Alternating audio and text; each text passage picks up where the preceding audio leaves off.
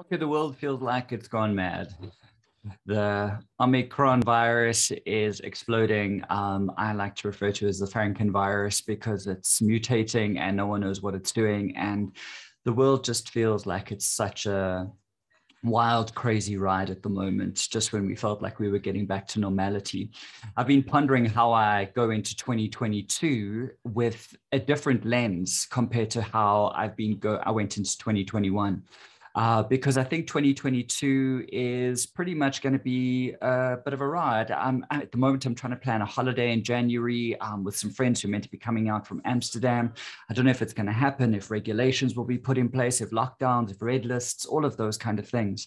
So it's really difficult to plan for 2022. And as a business person, we often want to plan, we often want to forecast, we want to see how we can grow our business, whether it be 10% per month or double our revenue, whatever it is. But it makes for such uncertain times to be able to forecast and to be able to predict how our business is going to unfold over 2022.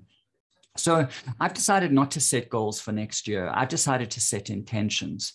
I have a one-line business plan, and that's to make people better. That's my intention for next year. Is I want to make people better through my training, through my coaching, through my speaking, and in the interactions I have with them. And I want to make money, but money is a consequence of my intention, not the not the actual direction that I'm going to go on. Because if I don't necessarily hit my goals and my targets for next year, if I manage to sustain my intention, the year has been successful. Goals can be rearticulated, goals can be changed. Intentions don't have an end date.